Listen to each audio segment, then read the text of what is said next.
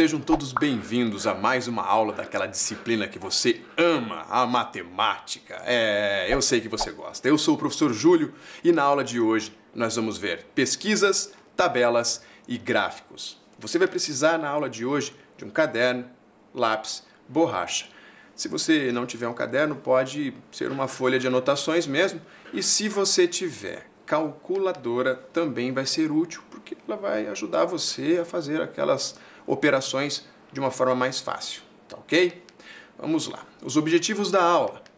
Hoje, os objetivos são compreender e saber calcular a frequência relativa. Lembra que eu falei na aula passada que nesta aula nós íamos aprender a calcular essa frequência relativa? Então, chegou o momento. Saber qual gráfico é mais apropriado para determinada variável. E saber organizar, realizar e analisar informações de pesquisa. Vamos à aula então. O que vimos na nossa última aula? Nós vimos população e amostra. Lembra-se a diferença entre uma e outra? População é o total dos elementos e amostra uma parte dessa população.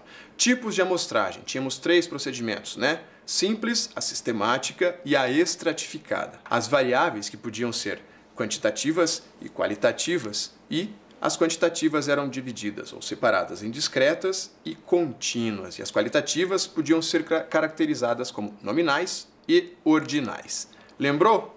Vamos lá. Gráficos e tabelas. Para organizar os dados obtidos por meio de uma pesquisa, podemos construir tabelas e gráficos. O tipo de tabela e de gráfico que vamos utilizar ele depende da variável que está sendo analisada. Bom, nós temos aqui uma tabela que já é conhecida nossa da nossa última aula. Né? Esporte preferido dos alunos do oitavo ano A. Esporte. Nós temos ali as variáveis: futebol, vôlei e basquete. A frequência absoluta e ali na terceira coluna a frequência relativa. Agora a definição, aquela que eu tinha dito em nossa última aula.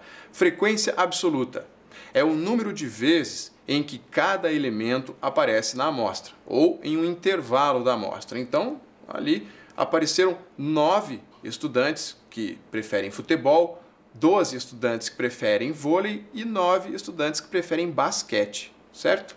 Na frequência relativa, a definição é a porcentagem da frequência de cada elemento ou intervalo da amostra. Então, quantos por cento dos alunos preferem futebol? Ah, são 30% dos alunos, aqueles nove ali.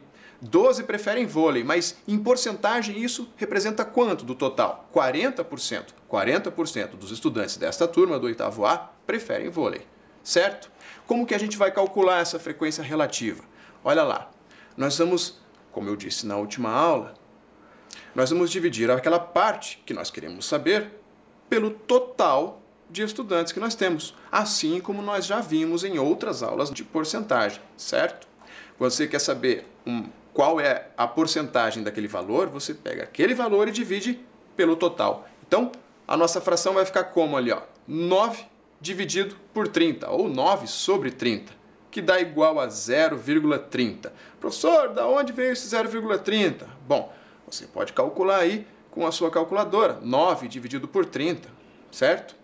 Vai dar 0,30 e como que eu faço agora para transformar esse valor em porcentagem?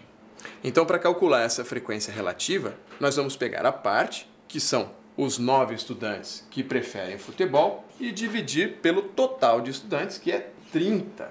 Vai ficar 9 dividido por 30. E quanto que vai dar esse 9 dividido por 30? Está ali, ó. Dá 0,30. Mas, professor, como que chega nesse resultado? Bom, 9 dividido por 30. Você pode utilizar aquela calculadora que eu disse no início da aula, que se você tivesse aí em mãos, ficaria mais fácil. Ou, se você não tiver calculadora, vamos relembrar como é que a gente faz essa divisão aqui. O 9 eu não posso dividir por 30, porque ele é menor. Então eu vou ter que colocar um zerinho aqui, deixa eu colocar em vermelho para você conseguir ver melhor, e aqui eu vou ter que colocar uma vírgula. Claro que um zero antes dessa vírgula. Agora basta dividir esse 90 por 30. 90 dividido por 30 vai dar 3. E 3 vezes 30 vai dar o 90. E o resto zero, que significa que acabou a minha divisão. E o quociente, a resposta aqui é 0,3, como já está aí na tela para você. Mas esse 0,3 é o valor em decimal. Aqui nós temos em fração, aqui nós temos em decimal. Eu preciso desse valor em porcentagem para preencher minha coluna da frequência relativa. E como eu vou transformar esse valor aqui em porcentagem? Bom, aqui embaixo não aparece nenhum número ali, né?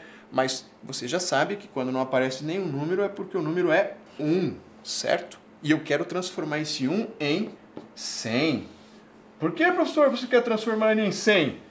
Porque eu quero transformar em por cento, certo? Então o 1 vai ter que virar 100. Ele tem uma vírgula aqui, ó, que também não aparece, né? Porque com a vírgula ou 100 dá na mesma. Mas ele tem uma vírgula que está ali. Se eu deslocar esta vírgula duas casas para a direita, ou seja, se eu multiplicar este número por 100, 1 vezes 100 vai dar 100. E eu vou fazer a mesma coisa com esta vírgula aqui em cima também. Vou deslocar ela duas casas para a esquerda, ou multiplicar este número aqui por 100, e vai dar 30. 30 por 100 é a mesma coisa que 30%. Então, na nossa tabelinha ali, vai ficar 30%. Se eu vou voltar aqui para você perceber, aquele 12 dividido pelo 30, pessoal que gosta de vôlei, que prefere vôlei, né? A preferência ali dos estudantes para vôlei é de 40%, porque ao dividir o 12 pelo 30 vai dar 40, vai dar 0,4 que multiplicado por 100 vai dar 40%. O basquete, como ficou igual ao de futebol, a, a, a frequência relativa também é a mesma. Bom, vamos ver um problema agora. Em uma pesquisa, 200 jovens universitários foram entrevistados para saber sobre o seu consumo diário de água. O resultado da pesquisa está apresentado na tabela abaixo. Então, veja ali a tabelinha. Consumo de água. Eu tenho na primeira coluna a quantidade de copos de água por dia, então é uma variável quantitativa discreta. Né? São três copos, seis copos, nove copos e 12 copos. A quantidade de pessoas que toma 3 copos por dia ali, tem 44 pessoas, 112 jovens universitários tomam 6 copos por dia, 28 tomam 9 copos por dia e 16 tomam 12 copos de água por dia. No total, foram entrevistados nesta pesquisa 200 jovens, como ele disse no enunciado, como mostra lá na tabela. O que eu quero agora é que você encontre e preencha a terceira coluna, a coluna da frequência relativa ali para mim. Eu vou te dar um tempinho para você fazer isso daí e daqui a pouco a gente volta para corrigir, ok?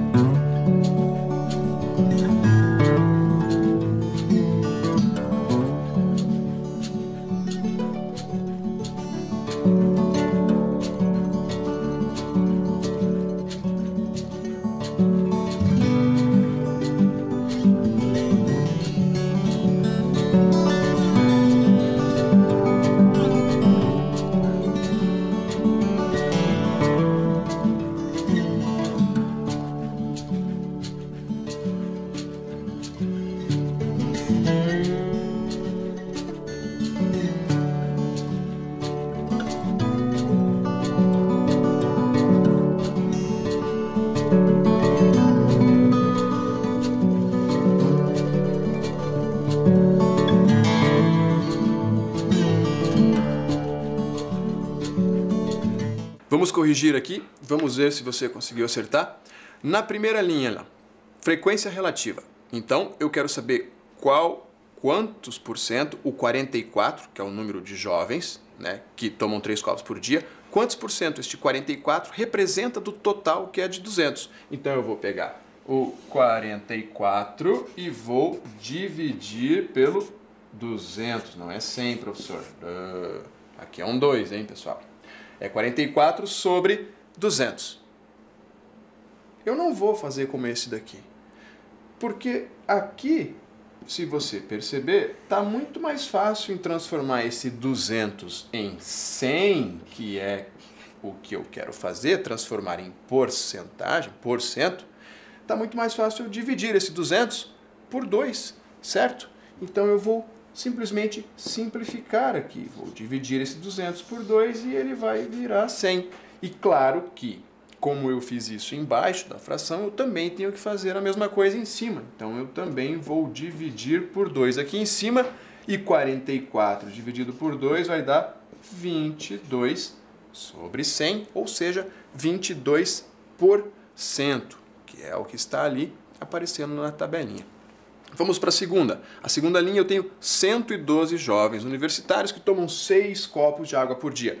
Eu não preciso fazer de novo aqui, né? Você já entendeu que para calcular essa porcentagem eu vou ter que dividir por 2. Vou repetir só o início aqui. 112 sobre 200, que é o total. A parte que eu quero descobrir a porcentagem dividido pelo total, que é 200. Eu vou ter que transformar o 200 em 100, então vou ter que dividir o 112 por 2 de novo. Todos esses valores eu vou dividir por 2. 112 dividido por 2 vai dar 56%. O número de jovens que toma 9 copos de água por dia é 28. Então, esses jovens representam 14% do total. Né? 28 dividido por 2. E os que tomam 12 copos por dia são 16. Do total, representa 8%. 16 dividido por 2, certo? No total, temos ali 100%. 22% mais 56%, 14% e 8%. Bom, agora nós vamos falar de gráficos. Você consegue perceber que nós temos aqui um título no gráfico 1? Nós vamos falar dos elementos do gráfico. Nós temos ali o título e dá para perceber claramente que este gráfico está falando do esporte preferido dos estudantes do oitavo ano A, assim como na nossa tabela tinha aquele título. Além de você olhar para o título do gráfico, é muito importante que você perceba os eixos do gráfico. O que está escrito no eixo do gráfico? Nós temos dois eixos aqui, né? Temos o eixo horizontal e o eixo vertical. No eixo horizontal está escrito esporte. Então ali ele está colocando as minhas variáveis, né? Futebol, vôlei e basquete. E no eixo vertical nós temos frequência absoluta.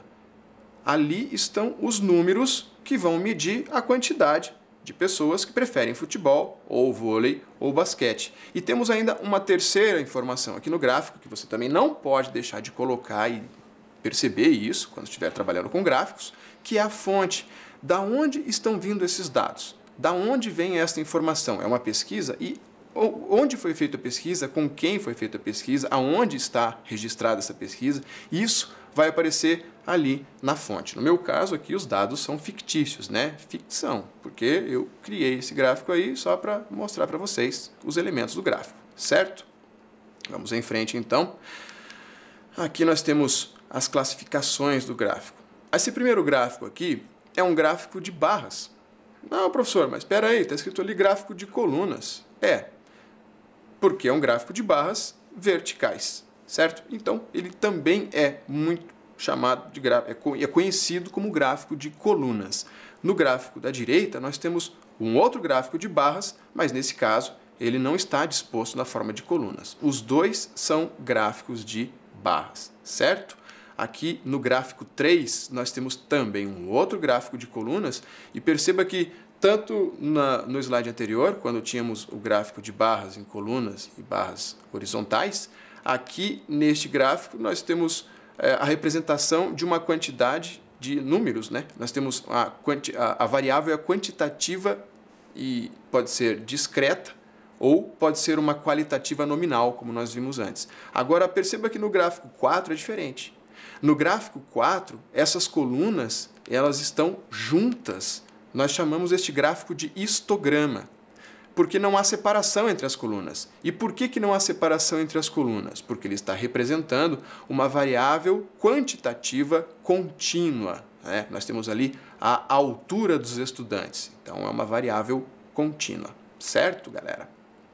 Podem ser utilizados para todos os tipos de variáveis, esses gráficos aqui, ó, gráfico de setores, ou você também já deve ter ouvido falar gráfico de pizza. Ele é comum, é, é muito conhecido como gráfico de pizza porque ele assemelha-se a uma pizza aí, né? Redondinho, colorido, mas o nome correto é gráfico de setores. Ele está dividido em setores. E o bacana desse gráfico e é por isso que você vê muito ele por aí em pesquisas, principalmente em pesquisa eleitoral, é que ele pode ser utilizado para todos os tipos de variáveis. Nós temos ali um gráfico de setores para variável é, qualitativa, né? na primeira, que nós temos o futebol, o vôlei e basquete. Nós temos ali na segunda a qualitativa ordinal. No terceiro, nós temos a quantitativa discreta. E no quarto, nós temos um gráfico de setores para a nossa variável quantitativa contínua. Ok? Então, vamos a um problema agora. O gráfico mostra o resultado de uma pesquisa socioeconômica, na qual foi perguntado a cada um dos 600 entrevistados quantos aparelhos de TV há em sua casa. Perceba ali no gráfico que você tem o título do gráfico, né? Aparelhos de TV nas residências. 600 pessoas entrevistadas, você tem uma informação ali junto com o título, que também encontra-se no enunciado do problema. E aí você tem o gráfico com as informações de valores de frequência relativa, a porcentagem que cada um daqueles setores representa do total, e do lado direito você tem uma legenda, número de aparelhos ali, né? o número de aparelhos, com, número de pessoas com zero aparelhos de TV, outros com uma, e as cores ali representativas no gráfico, e embaixo a fonte. Nesse caso, eu fiz esse gráfico para a aula de hoje também. A fonte são dados fictícios. Se fosse de uma pesquisa, por exemplo, é, organizada pelo IBGE, estaria ali a fonte IBGE, Instituto Brasileiro de Geografia e Estatística, é, pesquisa realizada no ano tal, mês tal, dia tal, todas as informações que tem que estar, certo? Esse aqui eu vou querer que você responda o seguinte, que você preencha aquela tabelinha ali, ó. Complete a coluna da frequência absoluta na tabela abaixo. Como que a gente calcula aquela frequência absoluta?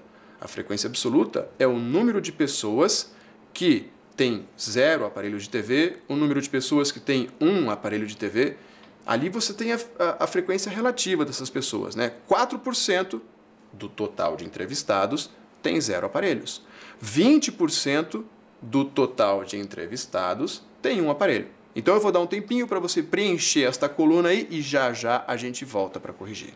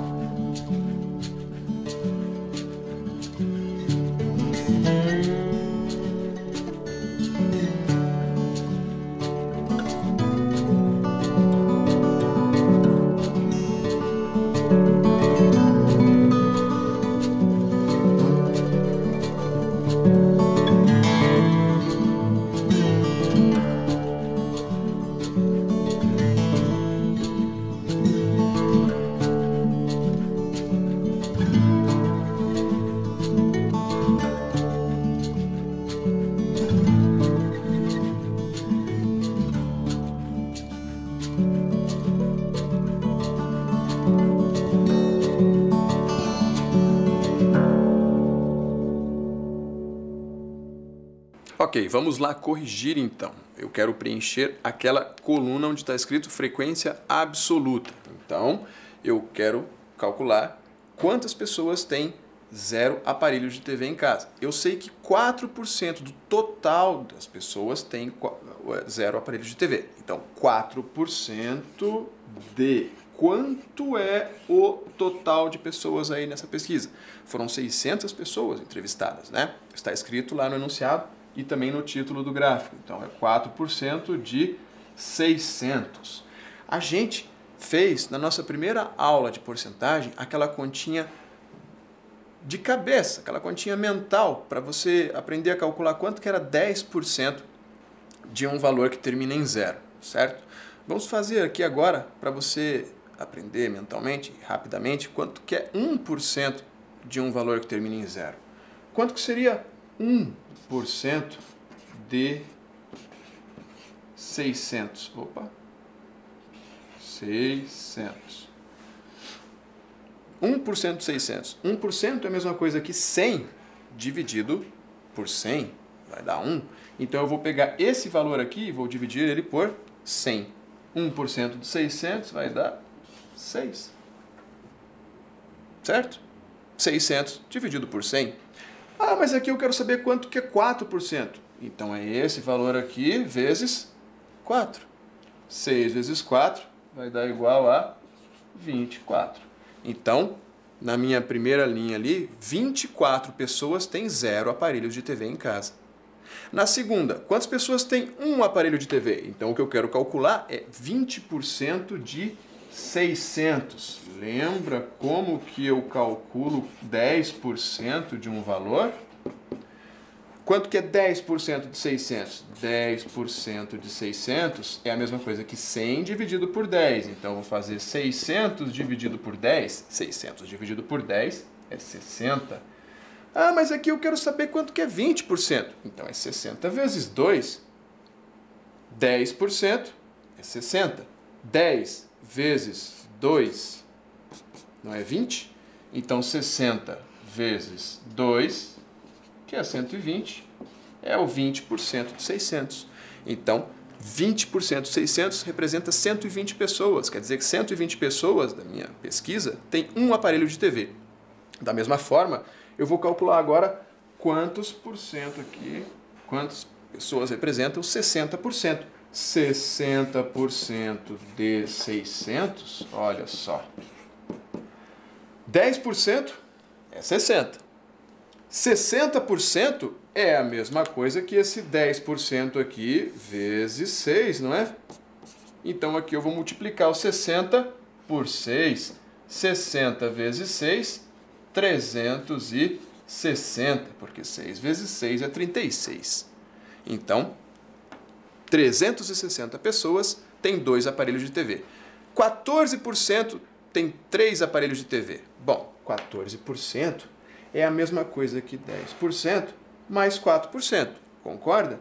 Então, 14% de 600 entrevistados vai ser 10% que é 60, mais os 4% aqui que é 24. Então vai ficar 60 mais 24, que vai dar 84 pessoas. Tá lá na nossa tabelinha. E 2% de 600. Nossa, olha que facinho esse, hein? 2% de 600 vai dar igual a quanto? Vou colocar aqui preto também. 1% de 600 é 6, não é? Se 1% de 600 é 6, 2%, que é 1 vezes 2, vai ser 6 vezes 2, que vai dar 12 pessoas. Então, 12 pessoas da nossa entrevista, dos 600 pessoas, 12 pessoas têm 4 aparelhos de TV. Ok?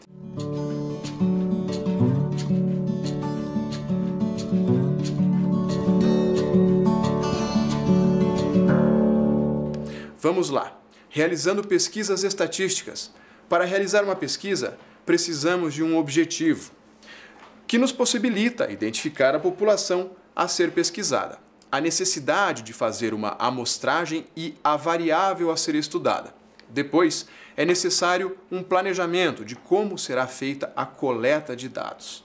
Então, quando você vai realizar uma pesquisa, a gente tem que analisar tudo isso daí. Essa coleta de dados, ela pode ser feita de várias maneiras diferentes, ok? Ela pode ser feita com um questionário, ela pode ser feita através de entrevista verbal falada, ela pode ser feita através de um questionário pela internet, que hoje em dia é muito comum e nós vamos ver em próximas aulas, inclusive, como fazer essa entrevista, essa pesquisa via internet, por meios digitais, utilizando é, aplicativos que são gratuitos certo? Realizando pesquisas estatísticas. Olha esse exemplo lá. A escola em que Ana estuda pretende levar os estudantes dos oitavos e nonos anos para assistir a uma peça de teatro. Este é o objetivo da pesquisa. Para isso, a coordenadora resolveu fazer uma pesquisa sobre qual peça eles gostariam de assistir.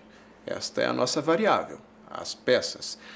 Ela entrevistou 60 estudantes, a amostra, né? dos 200 estudantes matriculados nos oitavo e nono anos. Esta é a nossa população. Temos uma população de 200 estudantes nessas duas turmas. Como a população a ser pesquisada tem 120 meninas e 80 meninos, ela selecionou uma amostra proporcional estratificada. Né? O número de meninos é diferente do número de meninas. Então, nós vamos pegar uma proporção equivalente das duas variáveis ali, dos meninos, dos meninos e das meninas. Bom, a professora selecionou 60 estudantes do total de 200. Quantos por cento será que este 60 representa do total de 200? Para descobrir isso, nós vamos dividir o 60 pelo total, que é o 200. 60 dividido por 200, ou 60 sobre 200, simplificando ali ou utilizando a calculadora, você vai descobrir 0,3. É. E 0,3, transformando em porcentagem, a gente já viu que dá 30%. Então agora eu vou dar um tempinho para você descobrir qual o número de meninos e qual o número de meninas que a coordenadora vai retirar ali para completar a amostra dela. Daqui a pouquinho a gente volta para corrigir.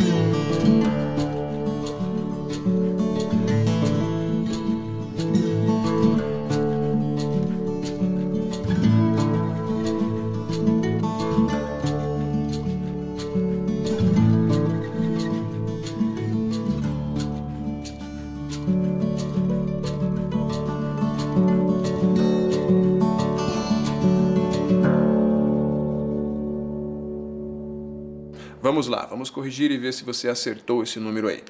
Nós temos que retirar aqui 30% de 120, será o número de meninas, e 30% de 80, que será o número de meninos. Bom, você já aprendeu a fazer essa continha e percebe que basta multiplicar o 8 pelo 3 ali, nós já vamos obter o resultado, né? 8 vezes 3, 24. Se você multiplica 80 pelo 30, vai dar 2.400, mas tem que dividir por 100, vai dar 24.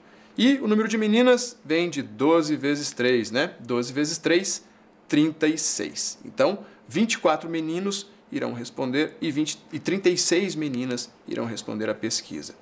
Realizando pesquisas ainda. Depois de selecionada a amostra, a coordenadora elaborou um questionário simples em que perguntava a preferência de cada estudante, se a peça 1, se a peça 2 ou se pela peça 3. Ela organizou os dados coletados em uma tabela e em um gráfico.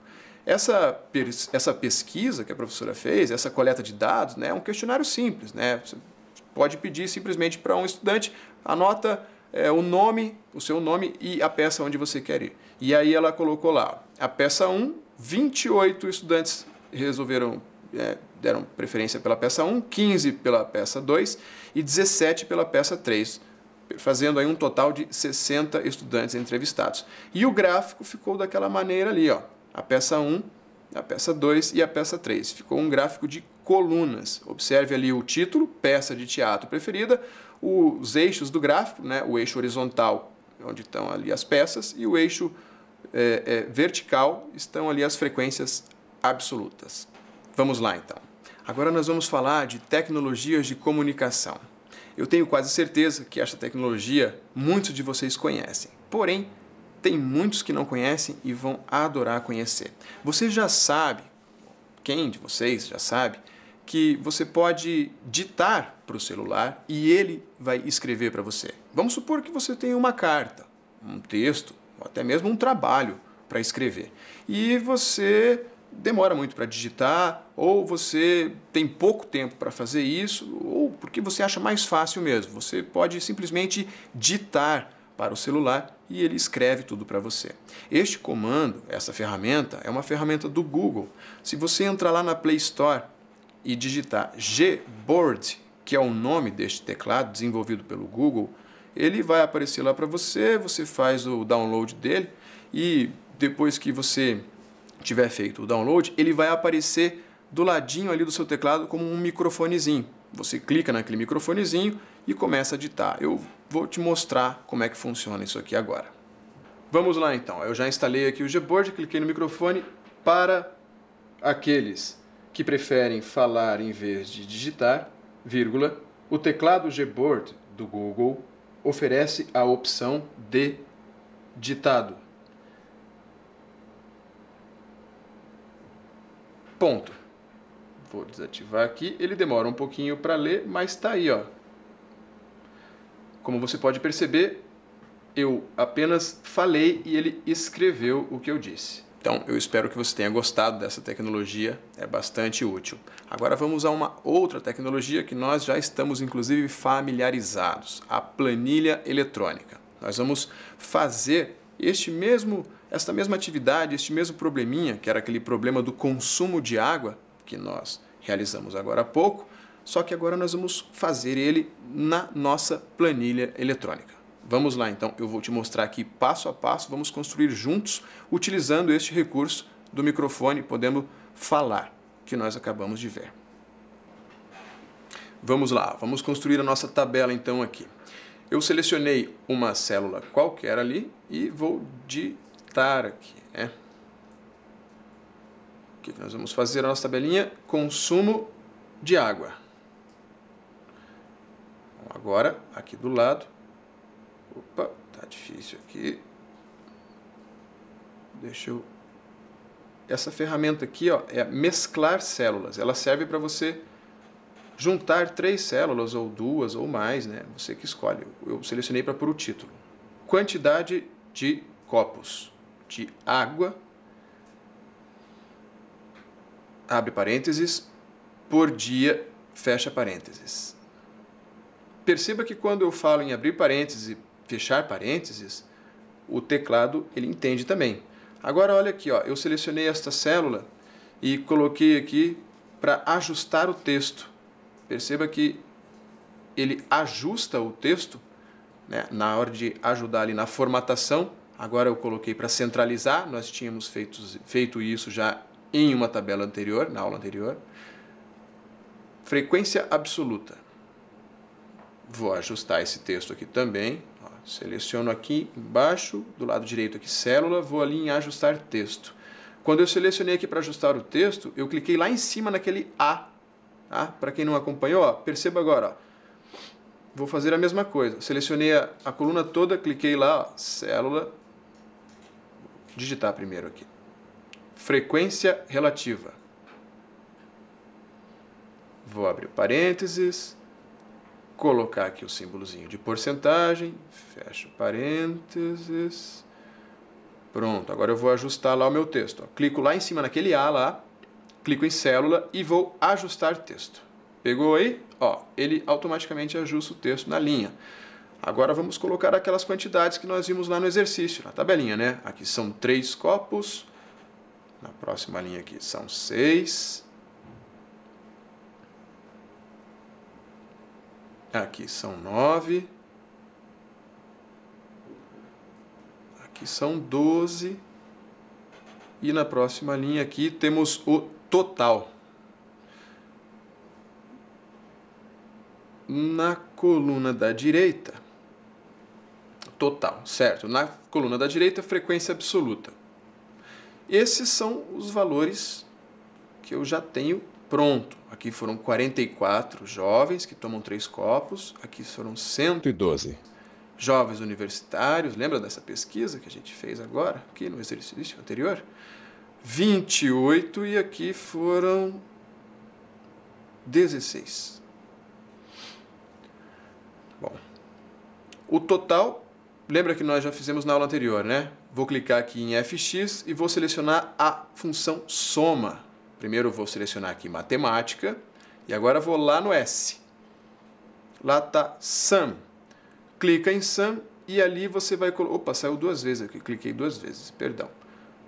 Aí apaga esse aqui, deixa só uma vez. Sum, abre parênteses, vou colocar as células que eu quero somar. Eu vou somar de qual célula até qual célula? Ó, observe lá. Eu quero somar da célula C5, está na coluna C, linha 5, que é o 44, até o 16, que está na célula C8. Então, vou escrever aqui dentro do parênteses. C5, dois pontos, C8. Esse dois pontos significa até, de uma célula até outra ok? Ele não é um símbolo de divisão aqui no Excel ou no programa de planilhas eletrônicas que você está usando. Frequência relativa. Agora que vem o que a gente quer saber.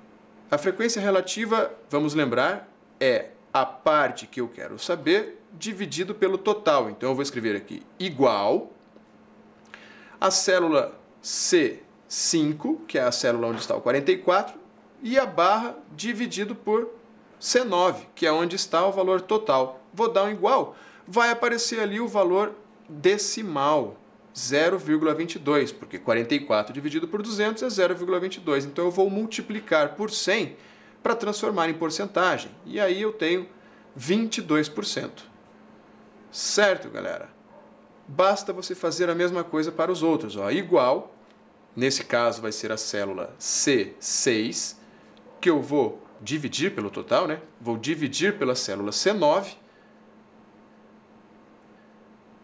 multiplicado por 100. Ele vai pegar o valor que está na célula C6 ali, o 112, e vai dividir pelo 200 e multiplicar por 100. Deu 56%, assim como tinha dado na nossa tabelinha que nós fizemos anteriormente. Se você não tem celular ou computador aí para fazer essa atividade, não se preocupe. Eu tenho certeza que você prestou atenção, entendeu como é que faz e quando você tiver a oportunidade, você pode tentar experimentar e fazer essa atividade também.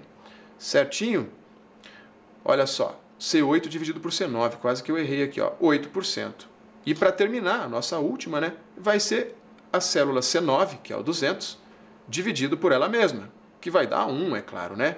E 1 vezes 100 vai dar um total de 100%. Olha lá, apertando o verdinho, tá aí a nossa tabelinha. Vamos lá, o que aprendemos hoje? Bom, hoje vimos como calcular a frequência relativa. Para calcular a frequência relativa, basta você pegar uma parte, a parte que você deseja calcular, e dividir pelo total. Já falamos disso, inclusive, em aulas anteriores. Né?